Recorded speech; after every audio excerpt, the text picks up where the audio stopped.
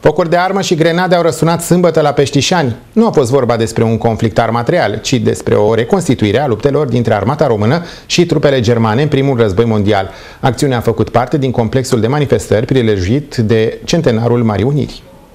Locuitorii comunei Peștișani au avut parte de o lecție de istorie a României din primul război mondial. Localitatea a găzduit o serie de manifestări care au început cu o întrunire la școala generală din localitate, unde au participat profesori istorici, dar și localnici. Întâlnirea a avut ca scop rememorarea evenimentelor istorice petrecute pe meleagurile gorjene în anul 1916, dar și chemarea la iubirea de țară a tinerilor care s-au pierdut sau au uitat de patria mamă. Astăzi uh, avem o manifestare dedicată centenarului, pentru că la, pe aici, pe aceste dealuri, în anul 1916, au uh, venit trupele austro-ungare, iar la francești, pe Știșani și Brădicini s-au dus lupte grele între armata română și armata austro-ungară.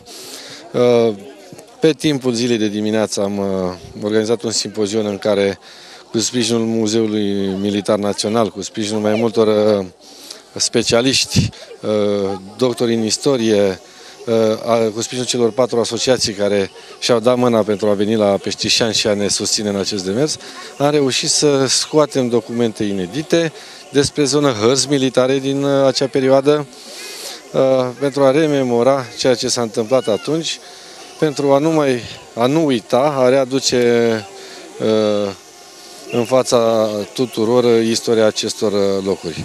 Eu cred că a fost o reușită, am încheiat cu această simulare și de dimineață a fost garda de onoare în curtea liceului din Peștișani, s-a tras o salvă și acolo și se va mai trage o salvă și aici pentru în cinstea eroilor care au căzut în războaiele pentru țară și în special cei găzuți în primul război mondial. Cel mai așteptat moment a fost reconstituirea luptelor dintre armata română și inamic. Totul a fost posibil datorită unor asociații de voluntari din țară pasionați de istorie care s-au străduit ca momentul să fie redat cât mai autentic. Este o ținută specială.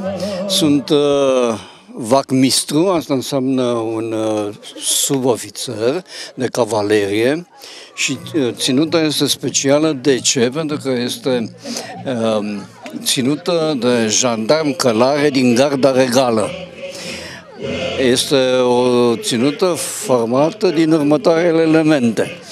Un uh, chipiu special din piele, care aici ar trebui să se vadă cifrul lui Ferdinand sau Carol cu un tui din, uh, din uh, uh, păr de cal.